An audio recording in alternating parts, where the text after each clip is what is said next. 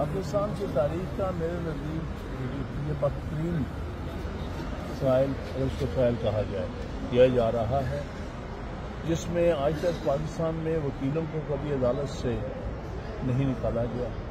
पहली दफ़ा defence lawyers को अदालतों से निकाला गया, जहाँ उन्होंने जरा करनी थी और जरा अपने मनपसंद वकील से करवाई गई, क्योंकि जिला इंतहा है।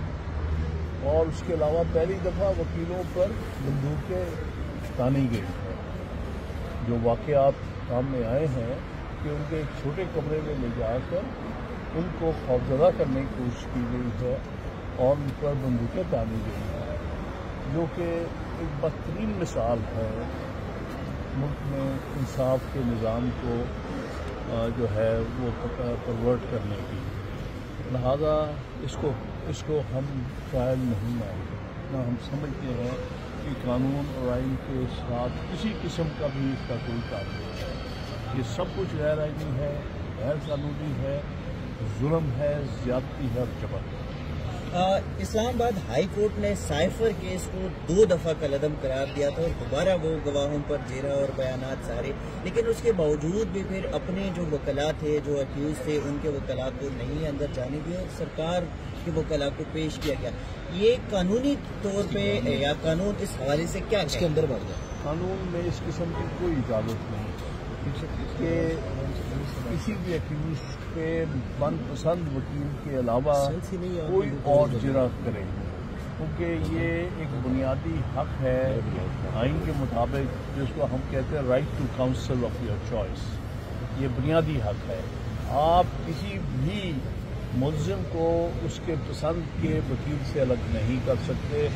उसी को वकील बनने का राइट है जिसको मुलजिम अपना वकील बनाए और जिसको मुलजम समझे कि वो उसको ट्रस्ट कर सकता है बतौर वकील के लिहाजा किसी ऐसे शख्स को वकील करना स्टेट के एक्सपेंस पर जिसको मुलजम अपना वकील नहीं तस्वर करना चाहता ना समझता है कि वो उसके लिए एक वकील का आ, आ, के जो है फ़ायद अंजाम दे सकता है ये वाज तौर पर आइन के खिलाफ वर्जी सर जो कल की कार्रवाई हुई है, उसी को चैलेंज करेंगे या कलदम करार देने के बाद से अब तक की तमाम कार्रवाई साइफर की उसको चैलेंज करेंगे, हुक्म इम्तना की दरख्वास्त करेंगे। मैं समझता हूँ सारी कार्रवाई गैर आईनी और गैर कानूनी हुई है।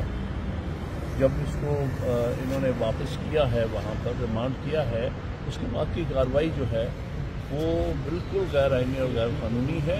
और अभी सिर्फ़ कल की नहीं, बल्कि जो हफ़्ते वाले दिन भी कार्रवाई हुई है, जिसमें कि एक माकूल वजह थी एडजर्नमेंट की ट्रायल लॉयर की, उसको रिजेक्ट करके अपनी मनपसंद एक डिफेंस काउंसिल जो एक्चुअली प्रोसिक्यूशन का हिस्सा है, वो प्रोसिक्यूशन टीम में से एक शख्स को सिलेक्ट करके विदाउट डिफेंस काउंसिल के लगाया गया है।